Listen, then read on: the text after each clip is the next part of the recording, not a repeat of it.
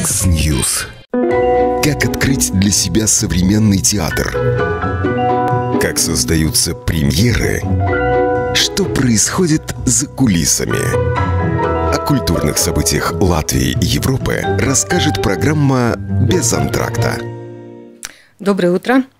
В студии радио Болтком, программа «Без антракта». Я ведущая Евгения Шерменева, э, звукорежиссер Евгений Копеин. Доброе утро всем.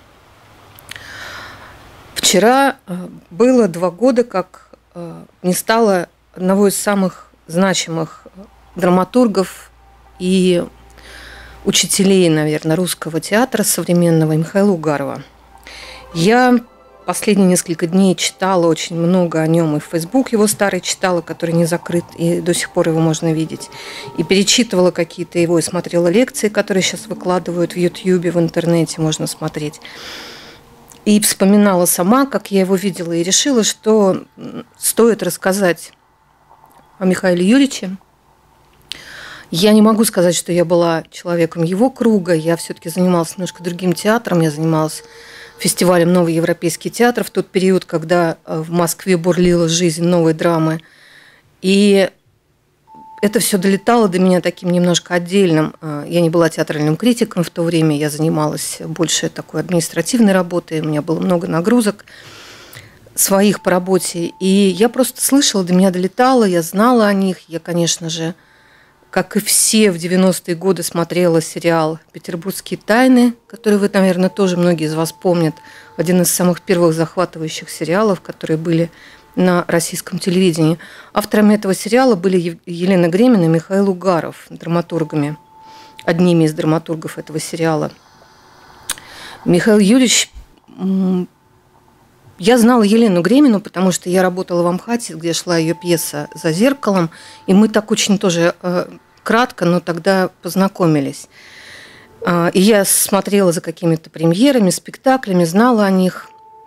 Но начало 2000-х спектакль «Кислород», который был показан в рамках фестиваля «Новый европейский театр», когда я смогла пролезть в маленький театр ДОК, в который было попасть очень трудно, в Трехпрудном переулке, как э, представитель фестиваля, и посмотрела спектакль. Конечно, перевернул во многом мое ощущение от театра в тот период. И было очень здорово, что такие, такие перевороты случаются именно – в твоем театре, театре, который говорит на языке, которому принадлежишь тоже ты. Что это не привоз из немецкого какого-то театра или какого-то французского прекрасного театра или английского, а то, что это родилось здесь у тебя, здесь, на твоих глазах. Ребята примерно там, следующего поколения, как Иван Вырыпаев и Арина Маракулина, которые все это исполняли, и Виктор Рыжаков, один из самых интересных режиссеров нынешних, который все это сделал. И я начала туда ходить, иногда захаживать, смотреть какие-то спектакли. Появился фестиваль «Новая драма». Я слышала о фестивале «Любимовка», на который я тогда еще не ходила, не успевала. И, но я об этом очень много читала и внимательно за этим следила. А, наверное, первая встреча моя с Михаилом Юрьевичем была как раз за кулисами театра «Док». Мы сидели, обсуждали что-то с Леной Греминой – с чашками чая, куда пришел он, и тогда еще можно было везде курить, а он очень много курил всегда и не собирался от этого отказываться ни по каким причинам, и в этом была какая-то его тоже противостояние неким запретом. А, а потом случился 2011 год, меня пригласили работать в московское правительство, мы встретились с Еленой Греминой, говорить о том, что можно было бы сделать и придумать, чтобы привлечь все вот это поколение, которое они воспитали в театре ДОК с Михаилом Юрьевичем, а за 10, ну, к тому же 9 лет было, конечно, сделано очень многое. Они с Михаилом Юрьевичем и у себя дали возможность реализоваться очень многим людям в театре ДОК. И в своих поездках по России находили многих людей и открывали новые имена, и давали толчок к развитию э, творчества многим. И мы тогда придумали программу классиков в школах. И э, актеры театра ДОК, возглавляемые, возглавляемые как раз Еленой Греминой, э, мы договорились с четырьмя школами в Москве, куда они ходили регулярно и с помощью а, технологий театральной педагогики работали с разными детьми. Школы были очень разные. Были школы, в которых были в основном мигранты, были школы в основном какой-то очень а, престижная одна школа была. А, была школа, где учились дети инклюзи... с инклюзией, где были очень разные дети, где были дети с какими-то проблемами со здоровьем. И это был очень интересный опыт и для театра ДОК, и для школьного образования в Москве. Они потом это делали уже несколько лет уже после того, как это закончилось, но потом закончился и этот проект тоже, к сожалению. Но в рамках этого проекта мы тогда дополнительно выделили деньги на адаптацию классических произведений. Я знаю, что очень многие люди этого не любят, но театр, современный театр, он все-таки должен говорить на языке, который люди понимают. Э, тот, который звучит э, в пространстве вокруг них, на улице, дома – из телевизоров, пусть даже, там, или с, из музыки, которую они слушают. И было написано четыре пьесы э, выбранными драматургами, в том числе была написана пьеса Михаила Мугарова «Маскарад, маскарад», которая, в общем, сейчас идет. И я очень рада, что каким-то таким образом все-таки причастна к тому, что делал Михаил Юрьевич Угаров. А потом случилось э, еще одна наша с ним встреча, когда Театре Центра драматургии и режиссуры вдруг оттуда пошли письма чиновникам о неладном состоянии дел. И мне кажется, это было первое разногласие внутри одного поколения и вроде бы людей, делающих одно и то же дело, когда выяснилось, что горизонтальный театр горизонтальный способ управления, который проповедовал Михаил Юрьевич Угаров, вошел в клинч со стремлением структуры выстроиться в вертикаль. И там все кончилось не очень хорошо. А, этот как бы актерский бунт или там сотрудников каких-то отдельных не удалось никаким образом погасить в течение полугода, и Михаил Юрьевич был вынужден уйти из Центра драматургии и режиссуры и уже занимался исключительно театром ДОК. Последние годы потом случилась известная история, когда театр ДОК закрыли в их здании – опечатали. В Трехпрудном переулке они нашли новое помещение, ремонтировали своими руками. Э, в другом районе Москвы на Разгуляе было прекрасное помещение с отдельным входом, с собственным двориком. И я помню, как на первом спектакле, который там игрался, Михаил Юрьевич читал очень большую какую-то речь, прекрасную, о том, что вот мы э, как общество создаем своими руками Потому что действительно было построено собственными руками. Приходили драматурги, актеры и ремонтировали помещение для того, чтобы там можно было играть спектакли. А потом снова закрыли это помещение, потому что арендатор в какой-то момент получил какие-то, видимо, уведомления и запретил театру находиться там. А переехали в третье здание, третье здание с третьим зданием тоже были проблемы.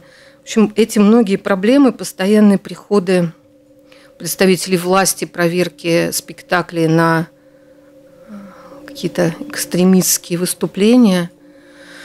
Вообще какие-то постоянные преследования и давления вот привели к тому, что два года назад весной сначала ушел Михаил Юрьевич, а потом вслед за ним ушла и Лена Гремина.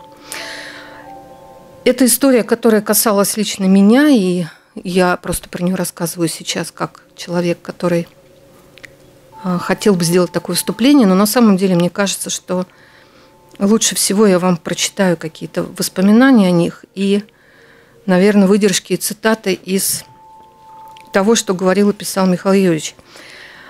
Михаил Юрьевич а, сначала был артистом а, в Кировском театре, в Кировском ТЮЗе. А, в этом Кировском ТЮЗе тогда работали несколько человек известных а, это Алексей Владимирович Бородин, который сейчас возглавляет Российский академический молодежный театр. Мы немножко вот сейчас замыкаем э, сегодняшнюю, сегодняшнюю программу с предыдущей, когда у нас в гостях была Софья Михайловна Апфельбаум по скайпу. У нее сегодня день рождения, поздравляем ее. А Соня, чтобы все закончилось неприятное и началось только интересное, а, и испытания были только связаны с профессией, когда надо преодолевать какие-то трудности э, на сцене, в театре, когда это дает развитие, а когда это не отбрасывает назад. как тот процесс, в который тебя втянула судьба. А, и нынешний директор Большого театра Владимир Урин, Владимир Георгиевич. Но я хочу его прочитать вам очень интересные воспоминания о Михаиле Юрьевиче, его первых годах а, работы в театре, в Кировском ТЮЗе. Александра Клокова. Это было опубликовано в журнале «Театр», журнал «Театр», который был посвящен целиком Михаилу Угарову и Лене Греминой.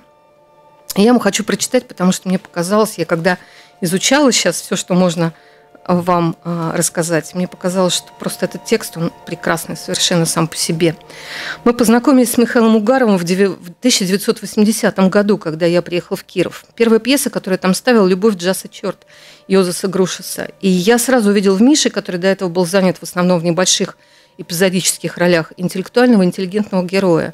Он идеально подходил для роли Андрюса, который мне хотелось строить на несоответствие обаяния Угарова, его зажатости и нервности. Помню, в нашем спектакле ему даже приходилось танцевать. Балетмейстер Лариса Исакова специально поставила номер, где требовались пластичность и грациозность, что для Миши было, конечно, совершенно немыслимо.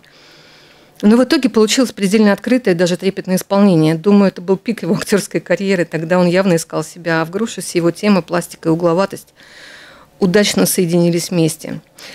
Первый мой кировский спектакль очень нас сблизил. Жили они тогда с Мариной, это жена, первая жена а, Михаила Угарова, на Воровского в актерском общежитии, где мы сидели ночами, разговаривали про пьесы и спектакли и быстро сдружились.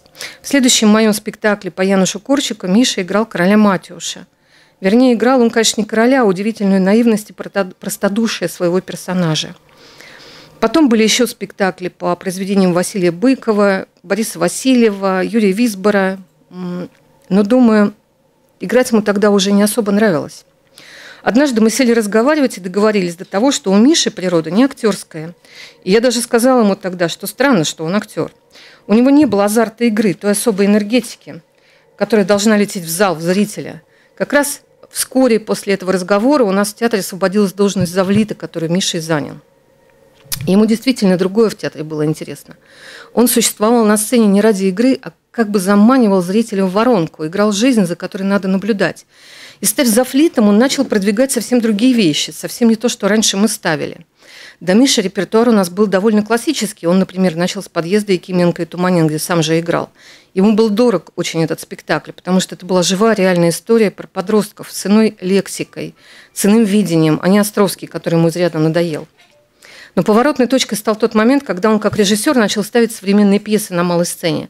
Там был свой отдельный мир, свое видение, совсем другое существование. В каком-то смысле это был другой театр. И дальше этот разлад только рос.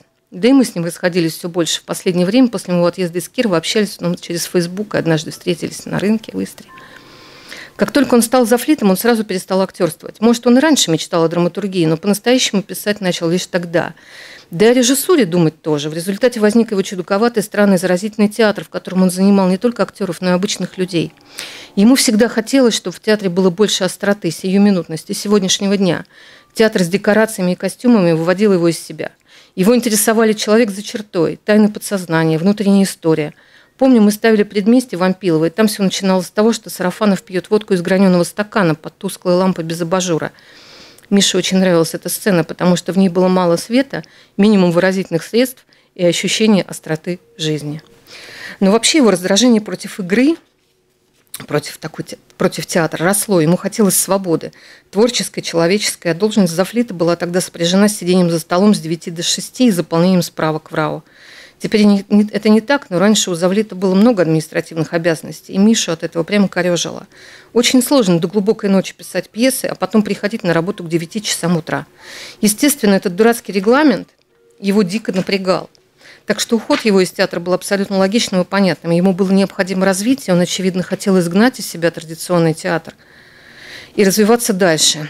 Для меня это история про архангелогородского самородка, человека, который бесконечно сам себя рождает и ищет свой путь. Теперь, после Мишиной смерти, когда рассматриваешь его жизнь в обратной перспективе, вспоминаешь многое из того, о чем мы когда-то давным-давно говорили. И все это встает на свои места.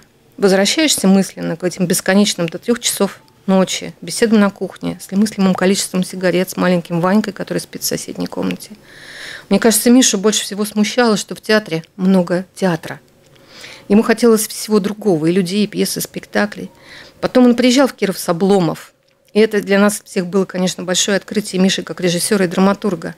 А еще позже мы в театре ставили его пьесу газеты «Русский инвалид» за 18 июля. По-моему, я сделала спектакль немного в свою сторону, но Миша, когда приезжал на премьеру, деликатно ничего не сказал. Думаю, он вкладывал свой текст больше иронии и сарказма, но все равно было очень интересно работать с пьесой человека, с которым я, да и занятые в спектакле актеры были когда-то так хорошо и близко знакомы.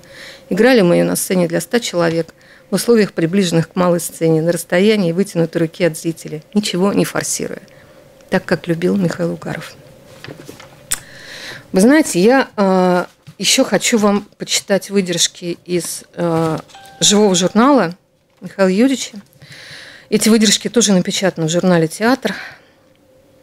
А готовила их Елена Ковальская, человек очень для меня важный тоже. Она долгие годы работала вместе с Михаилом Юрьевичем и с фестивалем «Любимовка». А, и она написала тоже прекрасные слова про него. У дневника живого журнала Михаила Юрьевича есть лозунг «И так, и так». Это фраза внучки Угарова Полины, которая она выражала отношение к происходящему. Таким был и подход Угарова в театре. Он называл это «ноль позиций». Ноль позиций Угарова ведет свое происхождение из теории Ролана Барта о нулевой степени письма. Взгляды Угарова формировались в начале 90-х под влиянием французских философов, которых тогда только-только стали переводить на русский. Он не скрывал этого, напротив. Сам дневник его назван как трактат леворадикала Гидебора «Общество спектакля». Угаров остро ощущал подмену реальности образами медиа и массовой культуры, тогда как в обществе непосредственное переживание оттеснено представлением, театр должен взять на себя задачу обнаружения и фиксации реальности.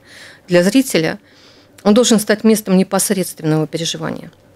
Поиском оптики, подхода художника к реальности, будь он драматургом, режиссером, кинооператором или артистом – Угаров был одержим. Многолетняя документальная программа в Театре ДОК, которая продолжает свою работу и сегодня уже без Угарова, так и называется «Охота за реальностью». Прочитаю выдержки из живого журнала Михаила Угарова. Где я возьму такого актера, чтобы ему зрители верили так, как я верю тексту? То есть, безусловного актера. У нас таких нет, даже у Казанцева и в театре ДОК. Например, Хабенскому я не верю. Я как зритель договариваюсь с ним, что я буду ему верить на договорных условиях. Это допущение. А чтобы вот так, безусловно, нет, конечно. Один музыкант жаловался, что в России не исполняют некоторых современных композиторов, потому что музыканты не владеют адекватными исполнительскими техниками. И встает вопрос в полный рост, и уже давно встает. Пьеса плохая или театр неплох? Люди театра врут, что дайте нам телефонную книгу, и мы поставим ее. Они пьесу иногда поставить не могут. Начинают ее инсценировать и только после этого ставить.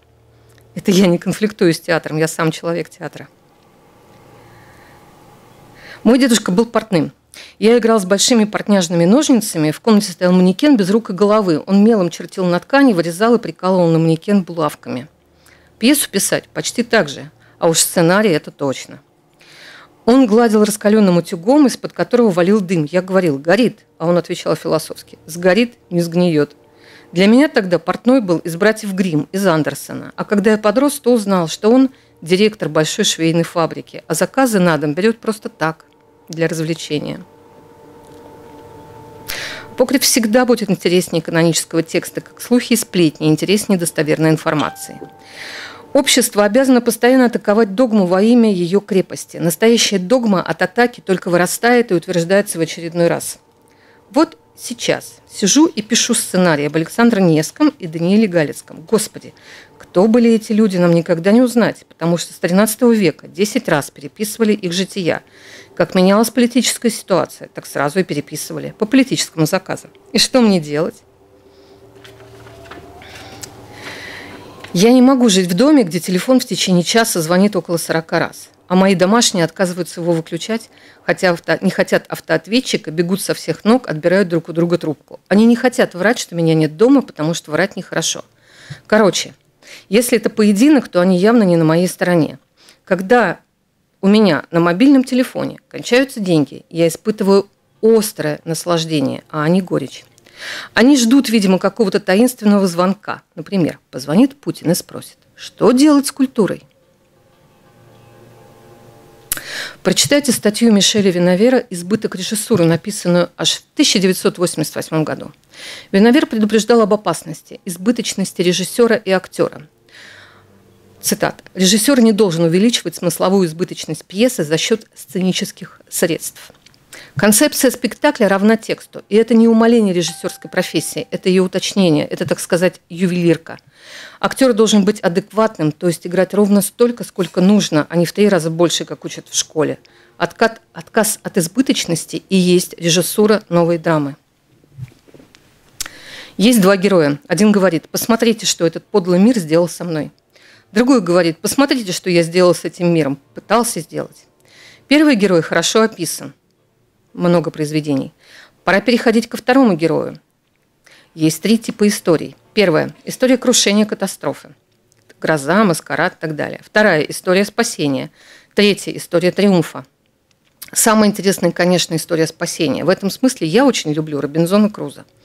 Исходя из этих трех типов историй, можно, наконец, поговорить и про финалы. Три варианта. Катастрофа, спасение, триумф. Открытый финал стал уже пошлостью. Но если быть честным, то надо признать, в жизни финалы отсутствуют как явление. Смерть или триумф героя лишь порождает новые коллизии. Стало быть, финал требовательный требований читательской, авторской логики. Любой финал – ложь, и надо с уважением отнестись к этому факту. Тут уж как совесть и вкус автору подскажет. Я попросил Славу Друненкова написать монолог юродивой бабы в пьесе «Три действия по четырем картинам», чтобы баба юродиву прорицала, чтобы жители XIX века ее не понимали, а вот современный зритель понимал бы ее пророчество очень хорошо. Что-нибудь о червях, вирусах, троянцах, о Windows, о подлости Касперского. Слава написал. Монолог начинался так. Вот она, материнская плата. Да, я сказала на открытии театра ТОК. Новая драма должна умереть. Я думал, что мысль моя понятна, а вот приходится с некоторыми объясняться. Поясню. Новая драма – явление кризисное. Это движение было рождено из-за дисбаланса в современном российском театре. Как только дисбаланс исчезнет, новая драма умрет, и я скажу «Слава Богу» должна установиться нормальная пропорция между классическими и современными текстами. Но произойдет это не скоро. Не из-за чьей-то злой воли, а не из-за того, что современная драма ужас как плоха, а классическая пьеса чудо как хороша. Это просто вопрос театральной школы. И еще совершенно чудесные выдержки из его занятий в школе документального кино, которые Михаил Юрьевич Угаров вел вместе с Мариной Александровной Разбежкиной в течение долгих лет. И мне посчастливилось э, три года назад, я была приглашена на показы курсовых работ. Было такое, ну, жюри, не жюри, просто э, люди высказывали свои ощущения от увиденного. И мы провели два дня в очень интересной компании э, режиссеров, драматургов, сценаристов, создателей кино и театра, музыкантов. Так что это было очень интересно. А, и вот Дина Баринова записала на лекциях какие-то высказывания Михаила Юрьевича, которые тоже были опубликованы в журнале «Театр». Он раздавал опросник и говорил о нем.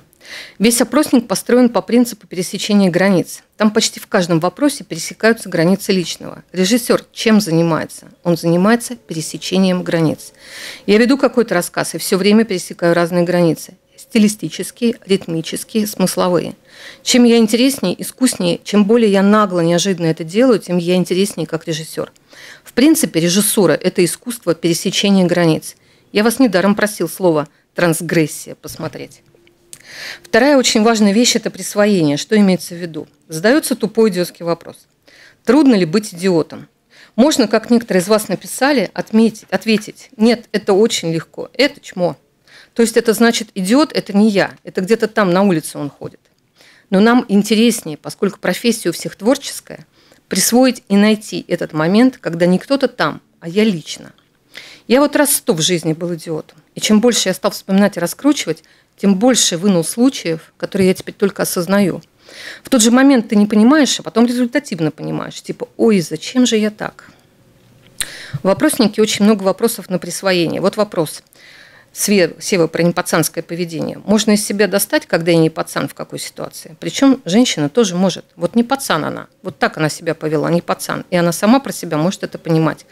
Присвоение гораздо более творческий путь, чем отстранение. Да, нужно выполнить то, что просит режиссер. Рисунок, система, концепция. Да, актер должен выполнить то, что нужно драматургу. Обстоятельства, текст, ситуация. Но нужно еще и свое взять, понимаете? Себя. Очень была история показательная, когда в МХТ мы делали к 150-летию Станиславского спектакль. Коллективный, одноразовый. Это спектакль вне системы, который ставил Кирилл Серебренников. Возвращаясь к тексту э, Угарова. Я там Немировича играл. Четыре режиссера на сцене. Дмитрий Черняков, я, Виктор Рыжаков и Кирилл Серебренников. Мы эту сцену сделали, все нормально, а Кирилл, как режиссер всего этого, говорит, все очень хорошо, только в два раза быстрее надо. Все четыре режиссера, они же их понимают хорошо про время, все говорят, да, Кирилл, ты абсолютно прав, мы сделаем это в два раза быстрее. Все расходятся, я стою и думаю, а вот хрен тебе, Кирилл, хрен, я свое возьму.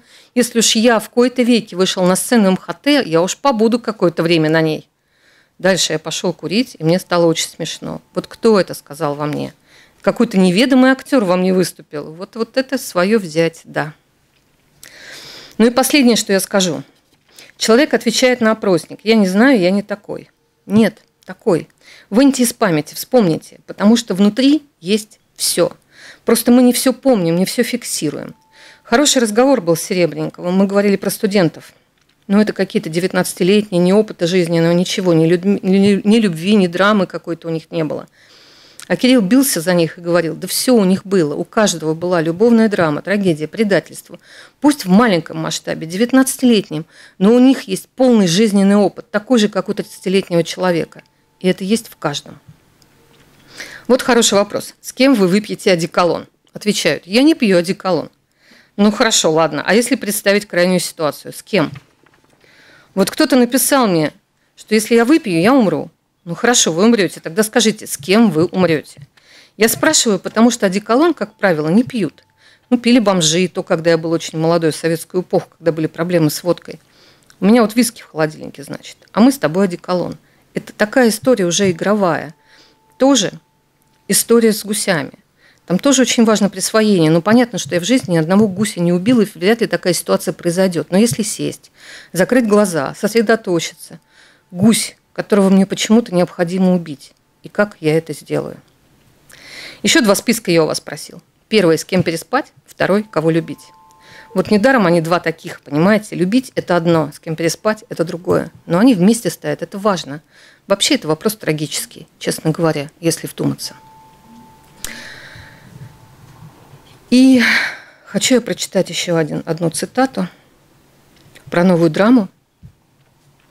Михаил Угаров сформулировал этого для журнала «Сеанс». Я нашла на сайте журнала «Сеанс» петербургского о кино. Михаил Угаров, а он был сценаристом, помимо э, петербургских тайн, этих известных э, с 90-х годов, он был сценаристом э, сериала Кирилла Серебренникова «Дневник убийцы». Может быть, вы смотрели в начале 2000-х. И он был одним из тех, кто создал такую сценарную компанию и режиссерскую. И был, ну, в общем, они все его ученики были. Это был такой сериал «Школа» в 2010 году на Первом канале, который посмотрела тогда по оценкам телевизионной, э, телевизионных замеров, смотрела больше трети россиян. Он был очень важен тогда для российского общества в 2010 году. Итак, про новую драму для журнала «Сеанс» Михаил Угаров.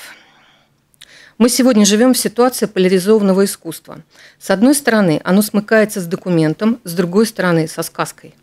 Большое кино полностью захвачено сказкой. Те, кто работает на реальности, документ в меньшинстве. По крайней мере, в нашей стране, где большая часть населения упорно повторяет – мы устали от серых будней, мы не хотим видеть то, что и так видим каждый день вокруг себя. Это, конечно, величайшая ложь. На самом деле они ничего не видят. Срабатывает техника психической безопасности. Человек просто перестал реагировать на то, что происходит вокруг него. И это понятно. Если я буду реагировать на все обстоятельства, я не выживу. У сегодняшнего человека выработана очень интересная техника безопасности – отмена события. Я этого не вижу, я этого не слышу, значит, этого не было. Большая часть зрителей приемлет только фэнтези и сказку. Логика зрителя такова – я должен получить удовольствие и отвалить. Вот концепция, по которой живет современный зритель. Новая драма работает по, современным, по совершенно иным принципам. Три основополагающих закона написания пьесы, которые мы декларируем. Это «я здесь и сейчас». У меня такое чувство, что даже вот спустя два года можно сказать, что Михаил Юрьевич Укаров, он здесь и сейчас. Спасибо большое. Это была программа «Без антракта» памяти э, российского драматурга, учителя, режиссера, сценариста, философа театрального Михаила Угарова. И я попрошу сейчас нашего звукорежиссера назвать мне, назвать мне от, от 10 до 700 любое число, и я прочитаю вам страницу из книги которая была выпущена год назад Елена Гремин, Михаил Угаров, пьеса и текст. Вот второй том – это тексты Михаила Угарова. Давай до 400, от 10 до 400. 78 страница.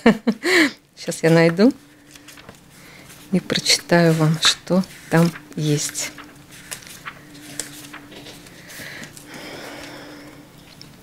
Любочка, героиня. Это пьеса правописания по гроту. А вот здесь она и оступилась, на этом самом месте. Вот-вот это самое местечко, это всякий знает. Ювеналий, заткнись. И она упала, то есть она села сначала, но ты же знаешь, ступеньки узкие, просто ступенечки, приступочки какие-то. Она села, она завалилась и поехала. Поехала прямо спиной по острым ступенечкам, головой вниз поехала, да так, что куски ее спины остались на гребешках ступенек, лоскуточки платья, прямо целые кусища кожи. Ювеналий кричит, божечка, заткни ей рот, чтобы у тебя ноги и руки отпали. Любочка, в гробу она лежала вся синяя, нет, вру, серая, серая, как серый студень. И распухла вся, как слониха, просто спучилась. И в животе у нее кишели червяки. Вот так умерла наша бабулечка, царствие небесное. Мамочка, знаешь, как плакала, все мы плакали, хоть я и маленькая была, ревела ужас как. Пусть земля и будет пухом. Ну что, размазня, получил полную порцию? Кто тебе капелек даст? Съел гуся. Как интересно, мы пришли к тому гусю, о котором он говорил в своей лекции – в школе документального кино. Спасибо большое. Читайте пьесы Михаила Угарова. Есть в интернете очень много его лекций о театре. Я думаю, что это интересно. Спасибо. Всего доброго.